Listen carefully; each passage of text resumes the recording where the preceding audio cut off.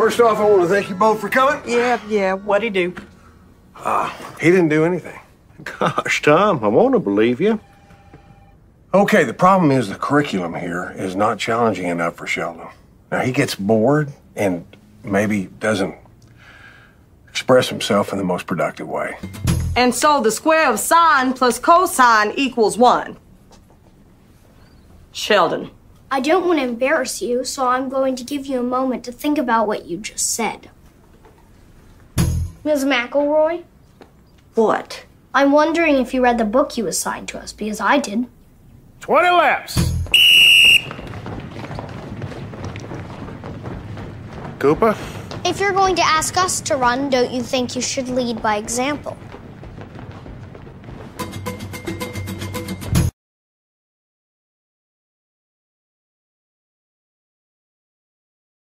It's gonna be weird around here without Sheldon. Don't you mean less weird? That's not nice. I wasn't trying for nice. You sure you're not jealous because your little brother's moving up in the world? Hey, I got plans of my own. Do tell.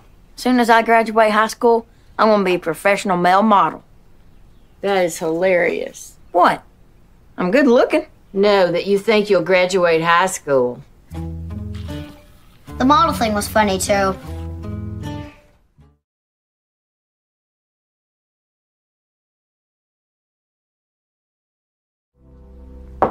Meemaw? Wa- Wow. I know, I look great. I got you a little going away gift. Come on in. This necklace has been in our family for generations.